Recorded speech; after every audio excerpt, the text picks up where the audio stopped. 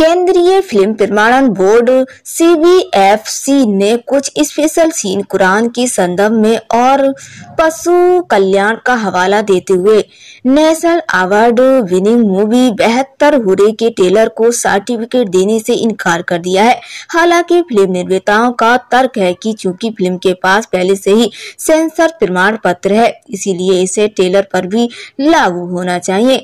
और दावा किया कि इस फैसले से उन्हें झटका लगा है। टेलर अब 28 जून को डिजिटल रूप से जारी किया जाएगा। निर्माताओं ने पहले को मामले उच्च अधिकारियों तक ले जाने का वादा किया और सीबी एफसी के सदस्य पर ब्लैक सीप होने का आरोप लगाया है।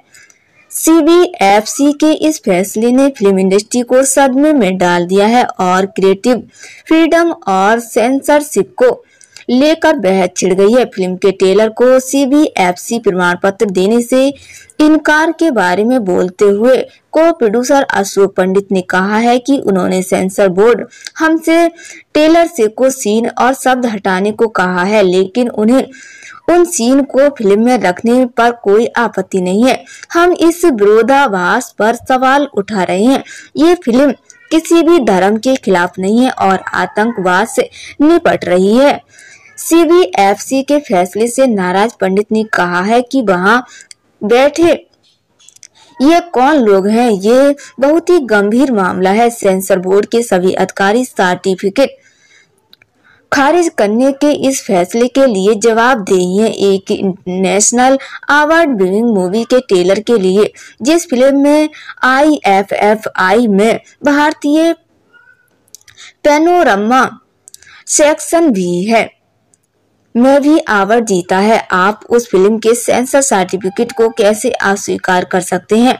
सेंसर बोर्ड में कुछ गड़बड़ है और प्रसून जोशी जवाब जवाबदेही है। सेंसर बोर्ड में कुछ ब्लैक सीट है। जानकारी के मुताबिक फ़िल्म में धर्म के नाम पर ब्रेन वॉश कैसे किया जाता है?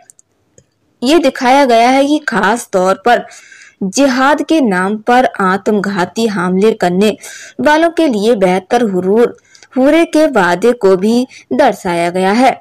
कुछ मुस्लिम धार्मिक नेताओं और राजनीतिक हस्तियों ने फ़िल्म की निंदा की है। उनका आरोप है कि ये इस्लामी समुदाय की भावनाओं को आहत करती है। कुछ लोगों ने तर्क किया है कि इस फ़िल्म को सिनेमाघरों में रिलीज़ नहीं किया जाना चाहिए।